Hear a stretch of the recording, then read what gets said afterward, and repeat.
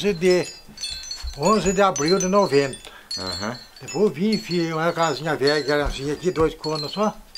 Feito novo, aí uma casinha muito ruim. Eu fiz o banheiro, punhei a luz e vim morar aqui. Vim 13 de maio de 90 eu vim morar aqui. A profissão sua chama ferreiro mesmo. É, é, na, na- na inscrição meu é mecânico, mas é, o nome ele trata de ferreiro, mas o nome certo disso é acer de tenda. Como que é? Acer de tenda. Aceiro de Eu tenda. trabalho mais com aço, né? Aceiro de tenda. Nossa, vou A tenda quer dizer forjar, dar tempa. Ah, seja de E- tenda. é. Tá, tá, entendi, tá. Porque o outro ferreiro, o ferreiro de obra, é só entortar ferro, fazer estribo, amarrar Aham. e armar. O seu É. não, o seu faz O meu é- escultura no, O no meu é aço, né? mecânico. Um, é um tipo de mecânico, porque tem uma, dois tipos de mecânico. Um mecânico de carro, assim, é trocar a peça, né? Aham. E eu faço a peça. Você faz a peça. Hã? Quais foram as primeiras peças que você fez? A primeira peça que eu fiz foi, foi a talhadeira. Uma talhadeira? É, talhadeira, ponteiro, Mas para você fez- pedreiro trabalhar. Ah, pra pedreiro trabalhar. É. Tá. Porque eu faço formão para torneiro, para entalhador de fazer escultura, eu faço tudo, tudo isso aí. Eu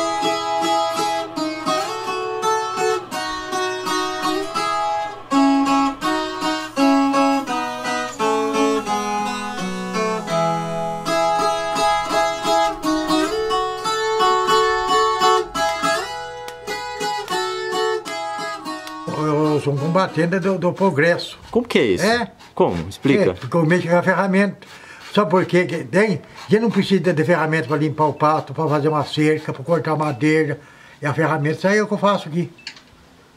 Na verdade, ninguém faz, né? quem fez é Deus que faz. Eu transformo uma barra numa ferramenta. né? Mas não é tudo que faz isso. Uhum. né? Eu transformo. E a, a bigorna, o ferreiro, essa profissão começou mil anos antes de Cristo, na Turquia. E a mãe da ferramenta do, do mundo que tem é ela. Por ela que foram aperfeiçoando até chegar no mais sofisticado que existe.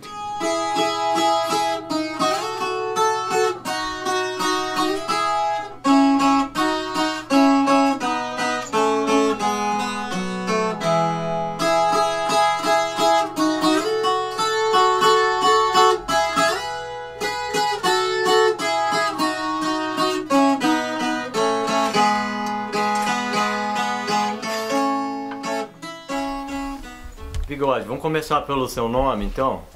Vamos. Pode falar seu nome Pode completo. começar? Pode. Meu nome é João Batista Dias de Carvalho. Eu nasci em 1952, no bairro da Barra Mansa. Como que era o lugar que você nasceu? Conta pra nós. Era roça, era cidade? Era era roça. Era roça. Era uma casinha de, de coberta de capim, de pau a pique. Aham. Tinha um monjolo, um paiolzinho, galinheiro, canavial, uns pedra-voredo de roda, uma pedra grande parte do monjolo lá. Era assim o lugar lá. E que, em que idade você começou a trabalhar? Ajudar o pai? Olha, desde que eu pude andar, desde que eu tinha cinco anos, ele teve- eu peguei um toquinho de foice assim, ele ia trabalhar, eu ia também. E macetar lá junto também. E depois com. Mas ele, você ia porque ele mandava ou porque você queria ir? Eu, eu gostava de ir, para onde ele ia, estava junto. É. E depois com oito anos eu fui pra, direto mesmo, para o trabalho mesmo. Uhum. Daí ele estava numa fazenda já, num sítio lá, tocando meia de roça com, o fazendeiro lá. Daí eu fui pro eito direto. Aí ele fica a semana para lá, ficava aí uma 200 cabeças de galinha para tomar conta, 120 porco, uma 200 cabeças de gado. E eu que tinha que tomar conta depois do serviço ainda. Uhum. Eu tinha que ir na mandioca, tirar a mandioca do porco, cascar dois jacás assim de milho Uhum. E debulhar milho para tratar das galinhas, cozinha mandioca para tratar dos cachorros. É isso que eu fazia. E escuta, e você foi na escola? Não. Você nunca quis ir na escola? Não, não, não, não, é, não, nem o registro para me dar, é, né, fazer inscrição na escola eu não tinha. Aham. Entendeu? O registro de nascimento não tinha. E você nunca quis ir? Não, eu não podia ir. Eu não quis ir, eu não podia deixar o pai trabalhar. No, naquele, naquele tempo eu ganhava, era 100 cruzeiros por dia. Naquele dinheiro antigo Uhum. que ele ganhava por dia. Olha, era para sobreviver, só para não morrer de fome mesmo, porque não fazia nada com aquilo. E você não tinha irmão pra ajudar seu pai? Eu tinha outro irmão, mas o irmão meu não tinha saúde, bem mais novo, que, mais novo que eu, eu não aguentava pegar comigo. Então seu pai só teve dois filhos. Era só dois. Uhum. Que vingou, foi só dois. E daquele tempo, o que, que você acha que você aprendeu de bom? O que eu, pra você, o que eu, o que eu aprendi de, de bom é, é, é ser obediente com o trabalho. Foi o que eu ganhei. O único privilégio que eu tive na vida. Eu não tive cultura, eu não tive infância, eu tive esse trabalho escravo para me trabalhar. Sobreviver a, a, a, comida que tinha só é, é muito michuruco, só para não morrer de fome, para sobreviver só. Uhum. É desse jeito que eu, que eu tive. A O- vida minha foi assim. O que, que vocês comiam quando era criança? Ah, eu tinha que, naquele tempo eu podia pegar um palmito no mato, uma serraia, canjiquinho de monjolo, é isso. E carne? Carne era difícil. Quando comprava uma carne é meio quilo, só comia uma vez só. Mas vocês não tinham porco, galinha? O que o fazendeiro tinha, nós não tinha, Ah, vocês não tinham, vocês eram empregados então. era empregado. E depois o fazendeiro inventou, depois que ele estava ficando rico, né, e eu e um primo nosso tra- trabalhava para ele, e ele estava ficando rico, ele tinha, ele tinha, ai, roça, tinha paió de, de, de, de uns 200 caigueiros de milho lá, tinha uns 60 sacos de feijão lá. E sabe o que ele falou? Ele disse que aquilo dava prejuízo. Feijão carunchava, o, ra, o milho carunchava, o rato comia e coisa assim. Daí os filhos dele foi embora, e ficou difícil tudo. O pai largou mão também. Derradeira meia que nós trocamos com ele, foi uma, uma meia de, de, de arroz, plantemos um saco de semente de arroz, deu 26 sacos depois de banado. Daí o pai acertou conta com ele na colheita, o pai sa- sardou com ele 7, co- sete mil e cem cruzeiro, 7 contas e 100. E depois ele, o pai precisou emprestar o dinheiro porque a situação dele estava mais pior que nós. Então o pai disse, não, nós não tem jeito de ficar aqui. O patrão está pior que nós. Tem que emprestar dinheiro para ele. E do jeito que vai indo, vai ficar cada vez pior. Hum. Daí até Campo Mundo aí, fomos trabalhar em Carvari, fazer carvão. Aí vocês passaram pro carvão, né? É. Vou te perguntar uma coisa, da onde que seu pai e sua mãe vieram, você sabe? Era tudo do bairro lá. Tudo bairro da Barra Mansa lá. É nascido aqui na atividade da Serra mesmo. É, né, desse bairro mesmo. E antes disso, você não sabe onde que o pai e a mãe deles vieram, não? Desse lugar mesmo. Tudo Desde bisavô. desde bisavô. É, desde bisavô. E antes do bisavô, você não sabe de onde? Não, É algum lugar da Europa. é. Tinha algum lugar da Europa, ou da França, ou da Dinamarca, algum lugar era. Então, você já, antes de ser ferreiro, você já trabalhou com muitas coisas, né? É, primeiro foi lavoura, depois foi carvari, depois fui trabalhar de caseiro de chácara, depois eu fui trabalhar em fazenda de serviço geral, Uhum. fui trabalhar de papel, eh, serviço de calipieiro, papel celulose, fui trabalhar de pedreiro, que eu tenho uns par de muro que eu fiz para os outros, telhado que eu fiz para os outros. Uhum. Depois eu voltei a trabalhar também na, no, no, no Calipo também, do Calipo larguei mão, fui mexer com essa oficina. Tá. Eu, eu sei que você conhece algumas simpatias com remédio, né? Hum, Que faz com é, remédio do mato e com pólvora também. é, Com quem você aprendeu essas coisas? com o pai. Seu pai que ensinava? É. A sua mãe não sabia isso. A mãe sabia alguma coisa, mas o pai sabia mais. Seu pai sabia mais. É.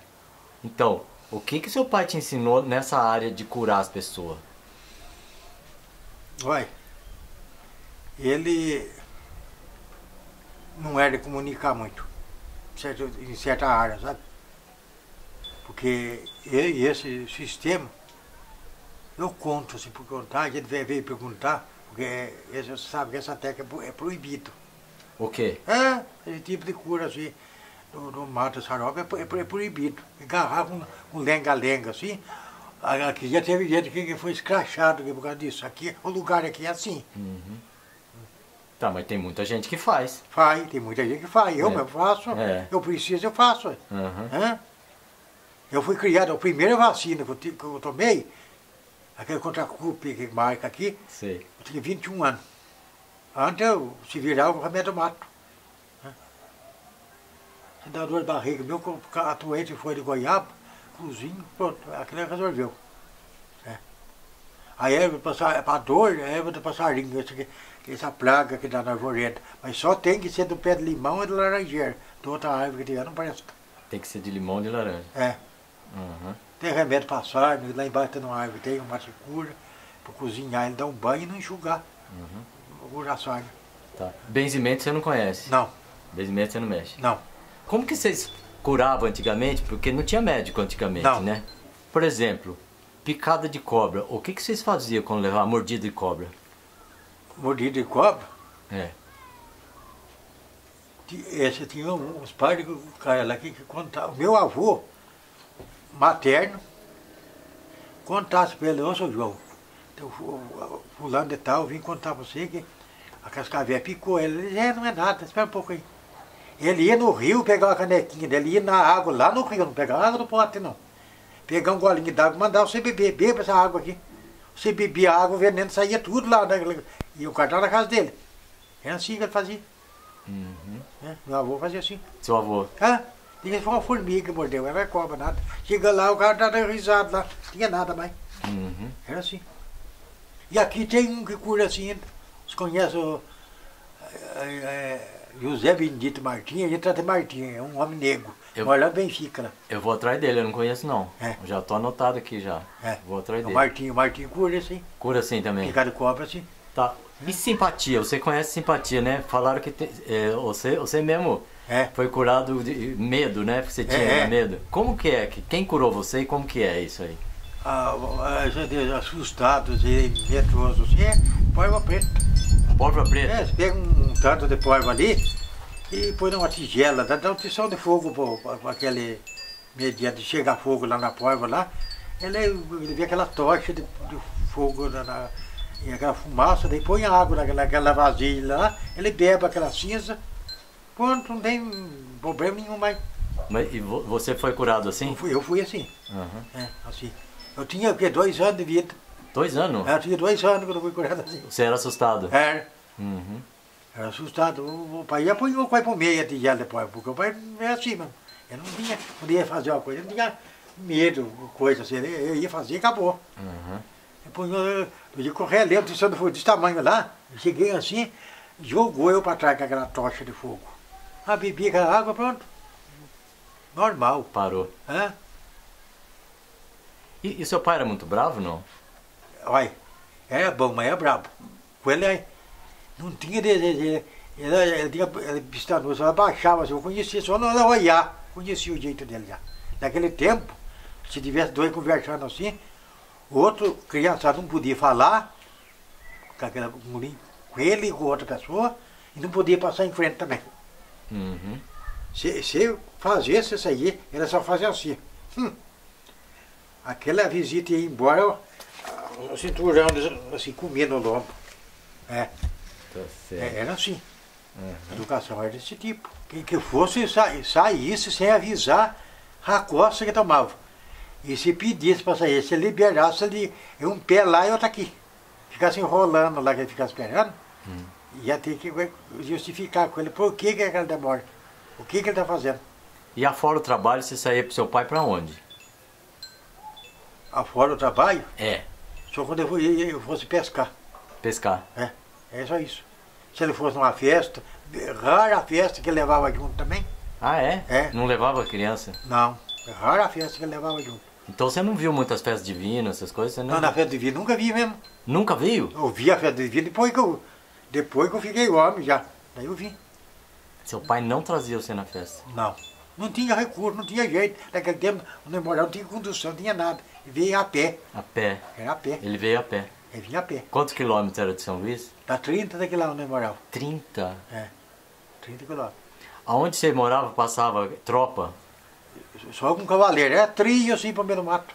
É trio. Ah, não tinha estrada onde você morava? E naquele, não. E naquele tempo, e todo ano, o povo do bairro tinha que roçar e caipir o caminho. Assim. Se, se, se desobedecer essa ordem, ia preso ainda. 24 horas de cadeia. Hum, O inspetor do Cordeirão que mandava. O inspetor do Cordeirão naquele tempo era mais autoridade, é a mesma coisa do delegado hoje. sei. Ele, ele falava, o pessoal tinha que baixar os tribos, já que senão Obedecer. é, é obedecido. Não obedecesse, ia, ele trazia preso. Aham. É. Ô João, você casou alguma vez na sua vida não? Nunca. Por que, que você nunca quis casar? Não, eu, olha, sabe, a- aquele ditado que, o cachorro que mordeu ela foi dentro de linguiça. O que eu vi, outro sofri, eu sofri no passado também, e eu, e depois o ditado antigo, de um burro que está quieto.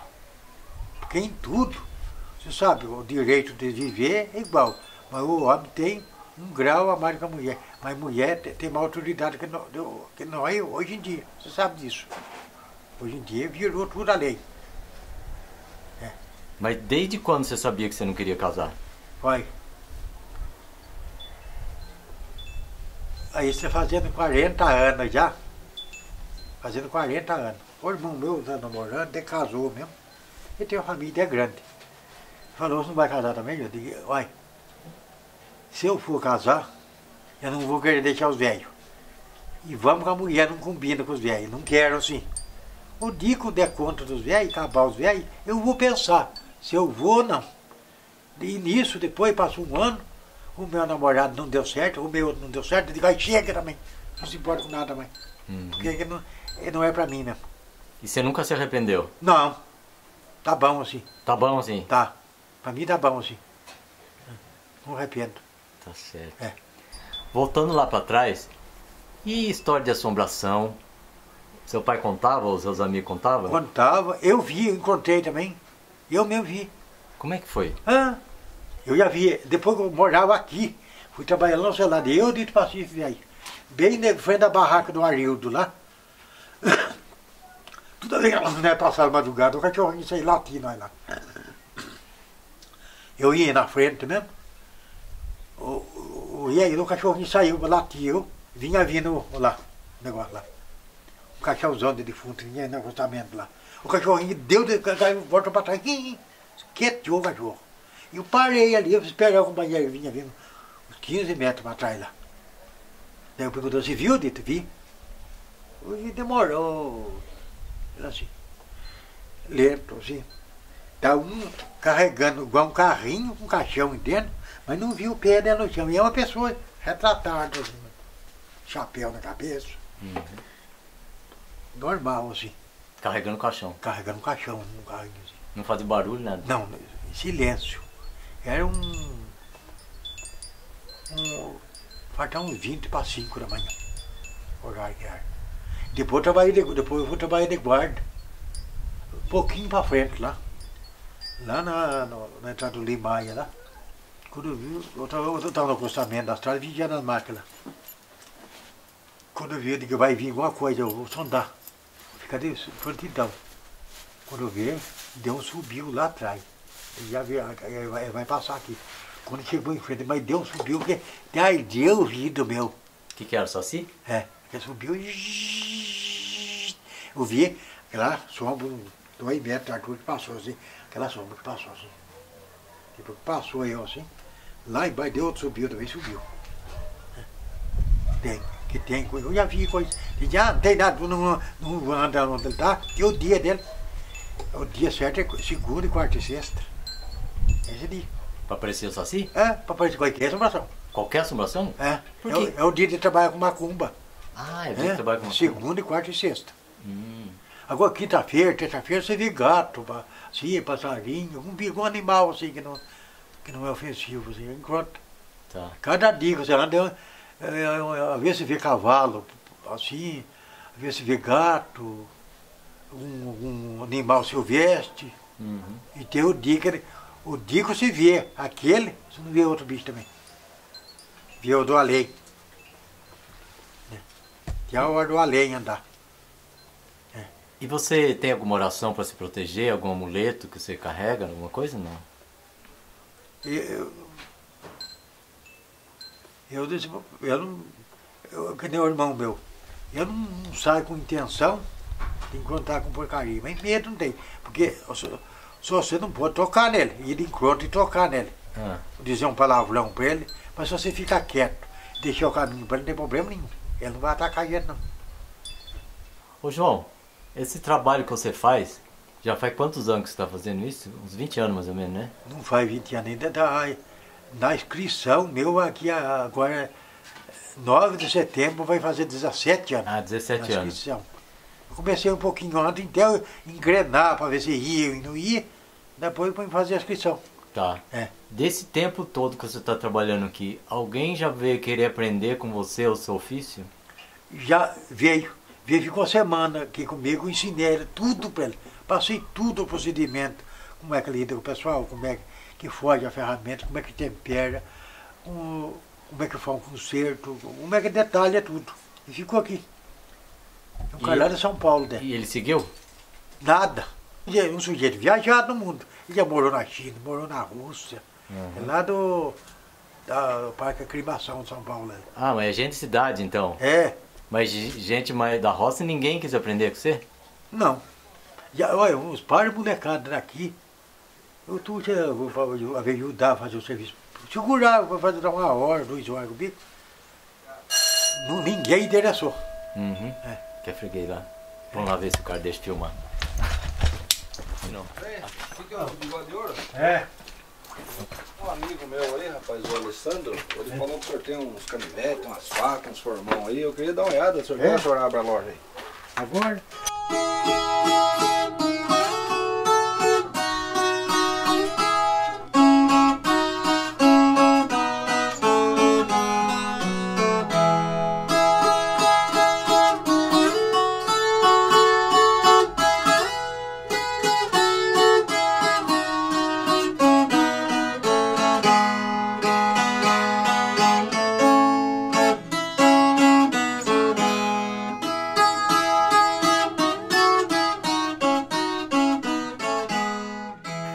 Seu João, a- as coisas antigamente era de um jeito. O, É. o senhor tá com quantos anos hoje? 60 e 64 anos. 64 anos.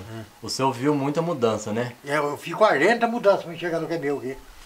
40 mudanças? 40 mudanças. Já mudou eh, 40 casas? 40. O senhor vai contando as casas que você muda? Contado, eu não esqueço um. Não esqueço um.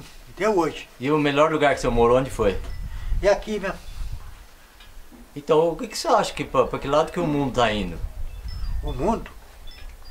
Olha. Pergunta. Tem bastante e é difícil de responder. Difícil e fácil. Tem que responder lá do lado a lei para dar, dar na altura. Porque, ne- na verdade, já viveu vários habitantes nessa terra, nesse planeta, essa terra solar aqui, antes do homem. E está chegando o fim do homem também. Note bem para onde andar, você viu a diferença que tem. Eu, dessa data, já acho uma diferença. Quem mais é idoso do que eu, tem mais ainda. É ou não é? A modificação. Quanto mais vai modificando, mais pior vai ficar. Mas o senhor falou que vai acabar. Vai acabar o quê? Acabar, É. muita coisa que, que, que existia não existe mais. Vai ficar na história. E, não, e- só na história, porque fosse objeto, aí tava, sobrar um pedaço para ir para o museu. E esse nem para o museu não vai. Só se for né, feito nessa- nessas coisas aí. É, Nessas maquininhas aqui, é, né? é nessa máquina. E a sua profissão vai desaparecer? Olha, depois de mim aqui não vai ter outro. Olha, ninguém quer trocar mais. Você espera o que daqui pra frente da sua vida? É, é, é isso que eu, e a resposta é assim. Eu já passei apuro nessa vida e não sei para frente como é que fica. Veremos. Amanhã se escurece, amanhã outro dia. Ou ontem não volta jamais. Nem quero que volte, não.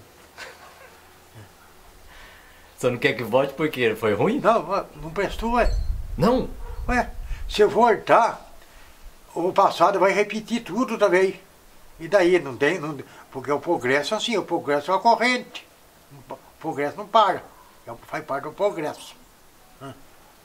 Por quê? O progresso, sabe como é que foi criado o progresso? Diga. Como é que gerou esse planeta aqui, que gerou a vida aqui? Conte. Esse aqui era um planeta no passado, não tinha vida. Não tinha ar, não tinha fogo, não tinha água potável, não tinha semente. O Espírito Santo foi no fundo do oceano e trouxe esses quatro elementos lá. Semente, o ar, o fogo e, a água. Que, é a vida de tudo. né? Depois que começou o povo, era assim.